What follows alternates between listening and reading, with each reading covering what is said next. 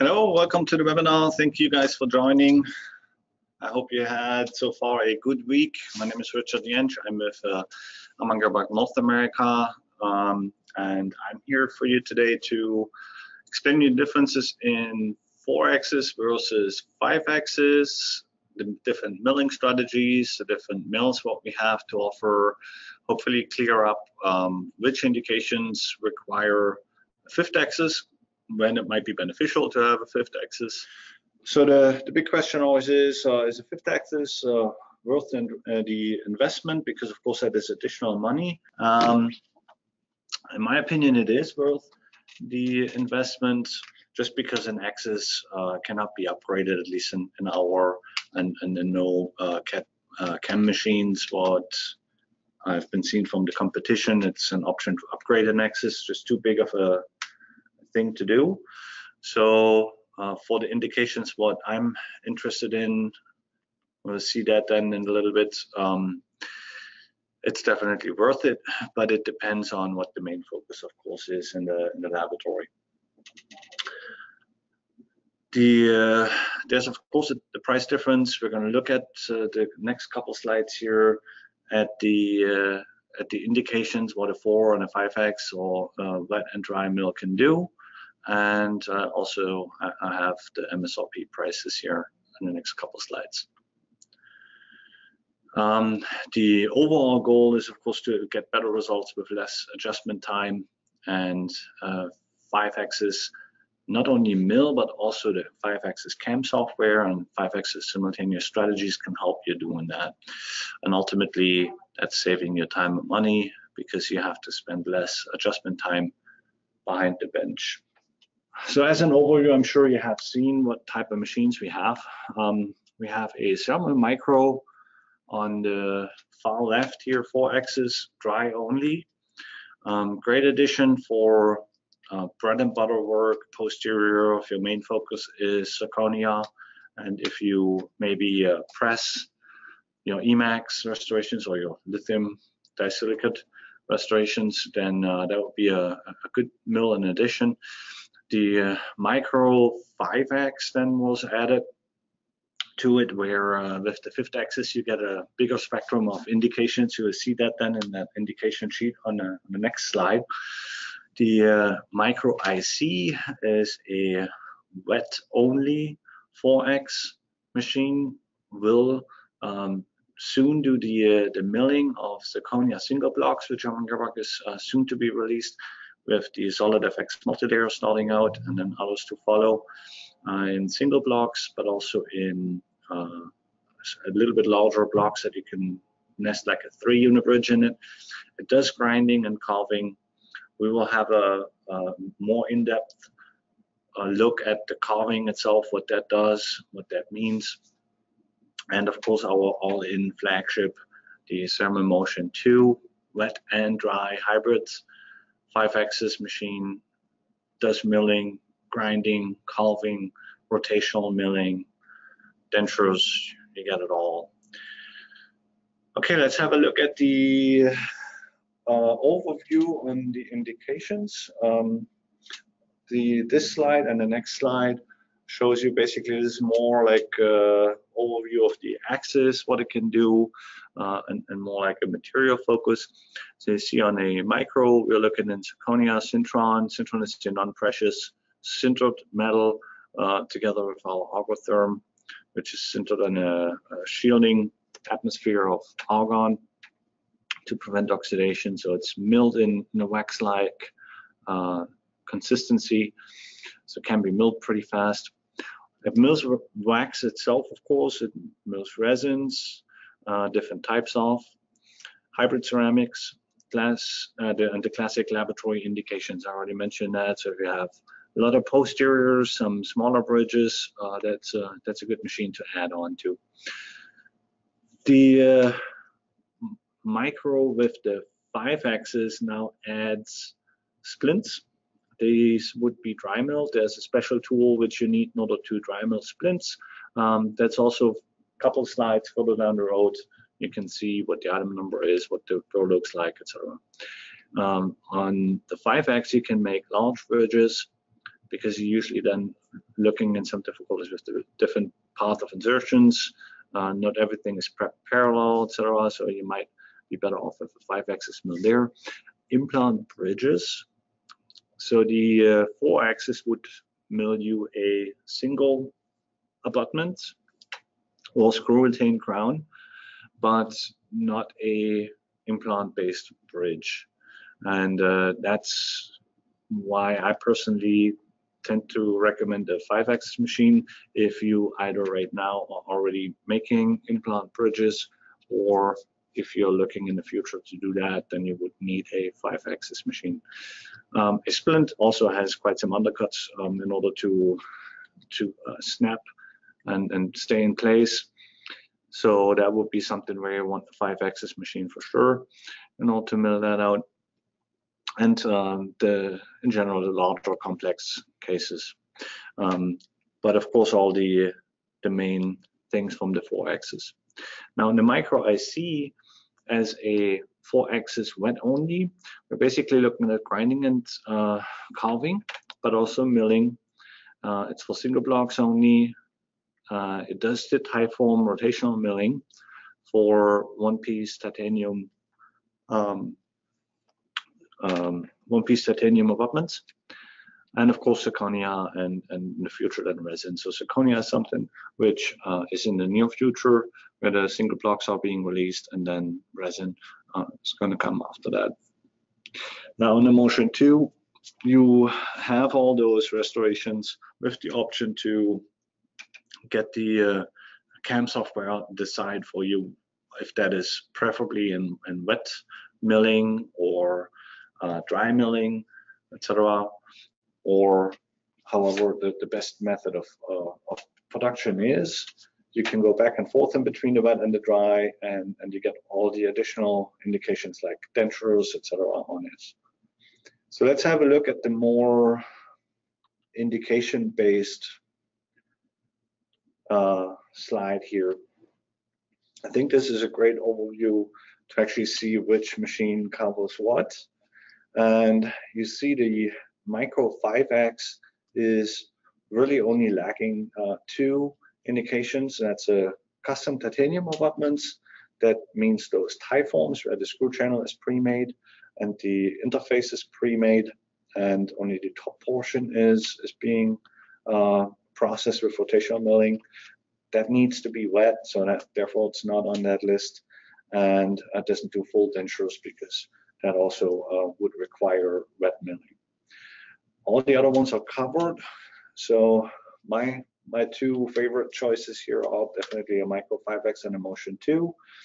The uh, Motion 2 has a little bit more versatility if it comes down to the interchangeable holder concept, but indication-wise, as you see that here, the uh, uh, Micro 5X is basically second best. And then with the 4-axis machines, it's getting a little bit more specific into um, posterior crowns. Yes, you can do some veneers, but it eventually um, getting a little complicated. You will see that then once we have the live hands on. So looking at the Micro 5X, it's very compact mill. I mentioned already dry only, very robust, robust um, build with a unibody here full spectrum of all dry materials, gets the benefits of a fifth axis. You see the fifth axis is here, this internal part rotating. You see the unibody here, so it's a very strong build quality for that. Switching over to the micro IC, also unibody technology, but is wet only has the uh, updated Jaeger spindle uh, with 100,000 RPMs on it and 750 watts. Uh, what we call the torpedo A-axis, which is a protruding axis. Uh, you get uh, also a good amount of flexibility due to the different holder, what can be interchanged with the machine I think you have seen probably that spindle, same spindle, which is also in the DNA generation of the Motion 2 5X. You see uh, different holders. That gray one is going to be that milling holder, which is going to be very interesting for the single blocks once they're released. And to look at the carving, we have the carving, as you can now tell from explaining it, carving is possible with a 4X machine. You don't necessarily need a fifth axis in order to carve. So both of the, the mills, the micro IC and the 4X wet and all the Motion 2 wet and dry hybrid can do the calming. And what it does, it's basically cutting the excess off around the tooth and thereby reducing all this manual production here and bringing it down from what took about 45 minutes for unit to now about 15 minutes. Thrilling also is um, about to be released. I think in, in some uh, countries in Europe, this is already out. Um, we should get that in the US here with the next update, which is being pushed, where you can basically make a screw access hole into the unit. So one more time, milling is with a cutting edge. Grinding was those long pathways and carving is, I think, in the long run, then replacing the grinding just because it is more efficient and makes more sense. And it's up to 60% faster. And we want to have a little bit of a focus as well on the uh, speed milling of resins and or the dry milling of resins. Um, the uh, carving, of course, I already mentioned, is available on Emotion 2. Already has been out, already uh, um, has been proven to work. Just as a refresher, those are the required tools of the new type of the diamonds in order to carve.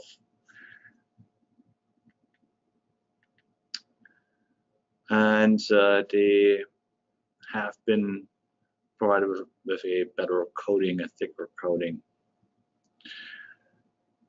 Okay, so what's carving? Just to refresh, we're cutting the excess off. To see this uh, in life, really quick, a little video. This is real time on how it's cutting that excess off. So this again would be possible a 4x or a 5x, but uh, has been um, pat patenting this process. So I'm not quite sure on how how uh, easy it would be for them, the competition to to get to the same thing. okay, motion two, the all-in-one mill basically. Um, you already probably have seen it around. It can do not only the carving uh, but also to the fifth axis, same like the micro 5x, it can do the, the new HD strategy, what you can see here as a selection for undercuts, what it's called. Uh, we used to only um, process the cavity with a fifth axis simultaneous in order to get two undercuts. Now you have the option to enable this here with fine or with HD on the outside. And that's up to the CAM software you're using. In our case, it's all uh, built into the, the Match 2 software, and you can just um, select it from the drop-down menu and enable simultaneous on the outside. And what it does is, you can see here clearly um, touch up those areas around the CEJ on, on such uh, screw-retained implant-based bridges. That's a very important tool to have. Uh, the HD basically then would use either a 0.6 or 0.3 millimeter tool. That depends on the material, what it's cutting. So on resins, um, that's a little different. On on resins or polymers, however, uh, PMMAs, it's using the 0.6 millimeter tool instead of the 0.3, which would be used on zirconia. And here you can see what kind of difference that is, and you can imagine how much um, bench time you're actually saving by by choosing the correct milling strategy for the correct case. Probably would be overkill for single units to select that um, uh, undercut option to enable simultaneous 5x movements on the outside units, but uh, never say never. There's some cases where it might make sense to do that. Um, maybe if you have a contact point and uh, there was a little bit of cupping happening in your design and you wanted to just still mill that out correctly and then smoothen uh, around that later on after it's uh, milled and you don't want to go back into design. You could actually add a tilt to restoration a little bit to make this accessible uh, or you could enable that feature here with the undercuts a demo case to show you how to prepare for HD milling on the model line. So you might already be very familiar with those uh, magenta or pink little spots on the margin line where that's due for being either overextended a little bit or for um, not having uh, a perfect path of insertion. So that eventually sometimes happens So you have small, small areas the line where the line will be open due to the path of insertion and extension of it. And uh, sometimes it even happens if the narrow is green, like in this case. And what you probably already have been doing is switching over here to undercuts and then specifying a small, small area to actually cannot even see something open here. It's that tiny. And you probably have been putting a small value in here and hitting apply in order to get this closed. And then the magenta has been disappearing and you were basically all set. Now that's exactly what you have to do in order to prepare for the HD margin milling and I show you why. If I put this back to zero, you can see here is a little bit of a shadow. I don't know how well that comes across on the uh, on the webinar now, but if I get to the cut view, you don't have to do the cut view in order to prep it. What I've been doing, just entering a small value here that already would cut the trick. Um, you would have to make your own judgment on how big that value is. I would suggest somewhere in between 0.3 to maybe 0.5 should be sufficient there. Uh, I just want to show you what it exactly does. So I'm going to enable the cut view here and I'm going to zoom in a little bit and you can see how we have here a very small area where it is also having that little bit of a yellow hue to it. The margin is not completely closed. It's because, or not in all areas completely closed, and that's in order to make um, the space available for that one millimeter burr, which has normally been working the margin lines. If I now go in here and I say half a millimeter as a safety zone to not change the margin line, now you see that has closed that, and then only then it really makes sense to, to use the smaller tool on it, the 0.3 don't do this though if you're not using the HD milling or if you do that not, um, without HD on the margin line, then be prepared to seat your crown a little bit, um, probably preferably with uh, a microscope.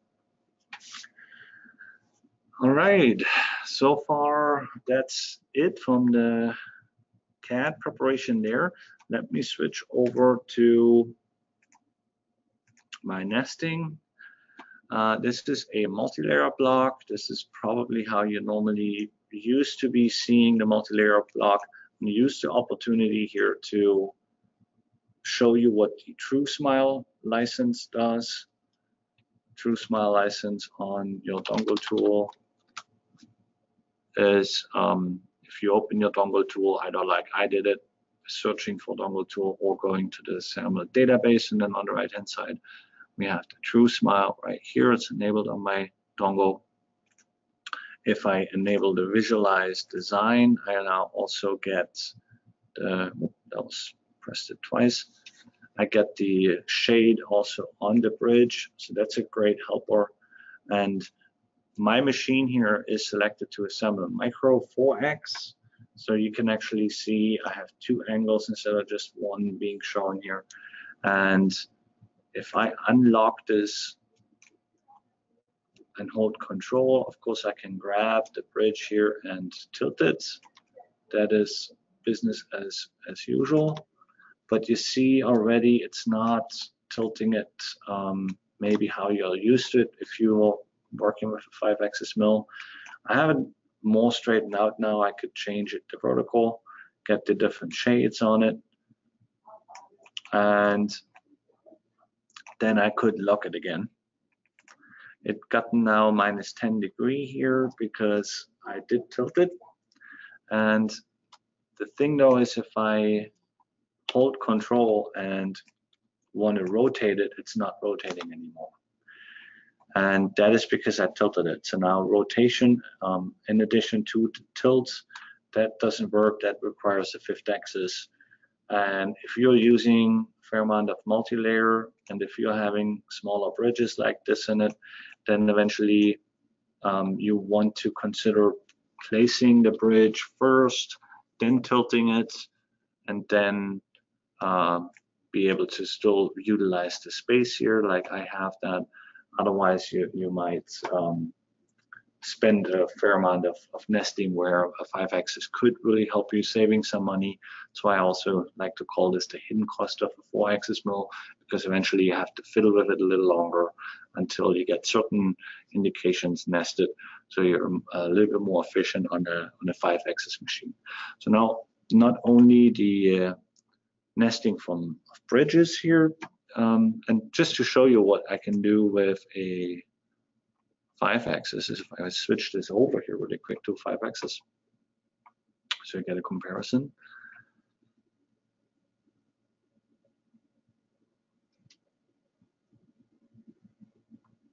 Take a little moment here.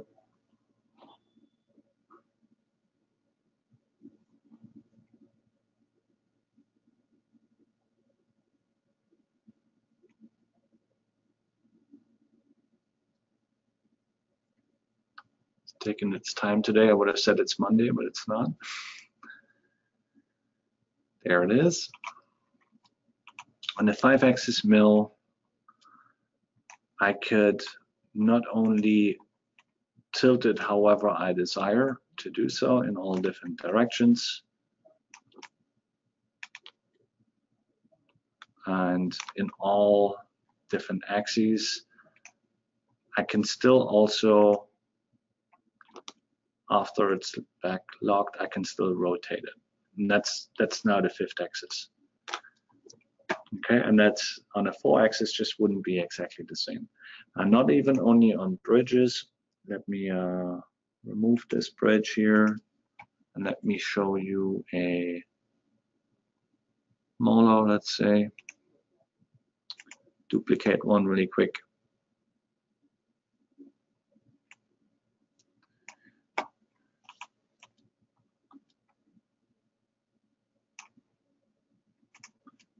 I get the advantage here of straightening that out however I desire to do.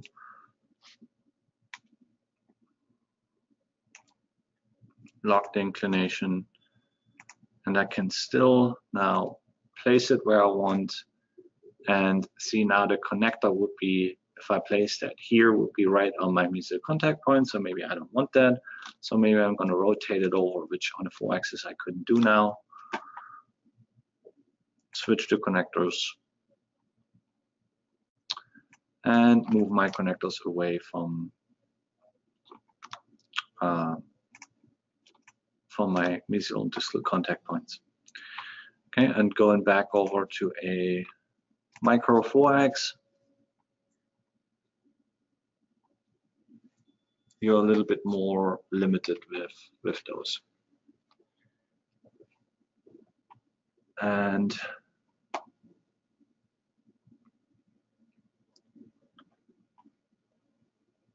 You also see now here that we have a red minus, uh, 20 degree angle, which is due to the fifth axis just not being present. So on a four axis, I would have to reset the inclination to zero. And then I could, because red obviously wouldn't be something you would want to do, I could try to tilt this, and this is a very good example here. You see, I can only tilt it over this axis. This is all I can do. This is not just me pretending. I'm trying to grab it on a different place, um, and I, I just cannot get that straightened out. So you're on the four axis just being a little bit more limited on, on what you can do. And if you imagine this on a veneer case um, or on a anterior, it's the same thing. Eventually you can only um, tilt the restoration um, mesial to distal, but what you really want to tilt it eventually is the, the other way. You want to maybe uh, tilt it towards the vestibular or facial and the lingual. And um, of course, you could uncheck this here, but again, if we're unchecking this, then, ah, come on.